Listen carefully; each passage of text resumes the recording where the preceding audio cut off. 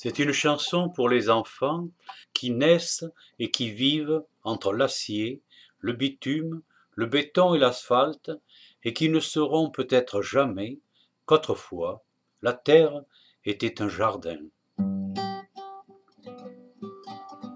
Il y avait un jardin qu'on appelait la terre.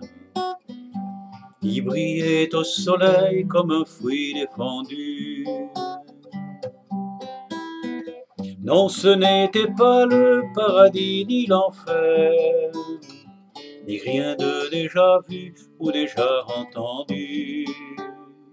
La la la, la la la, la la la. Il y avait un jardin, une maison des arbres, avec un lit de mousse pour y faire l'amour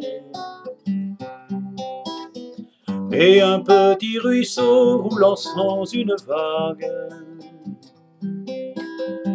venait le rafraîchir et poursuivait son cours. La la la, la la la, la la la. Il y avait un jardin grand comme une vallée. On pouvait s'y nourrir à toutes les saisons sur la terre brûlante ou sur l'herbe gelée, et découvrir des fleurs qui n'avaient pas de nom. La la la, la la la, la la la. Il y avait un jardin qu'on appelait la terre. Il était assez grand pour des milliers d'enfants.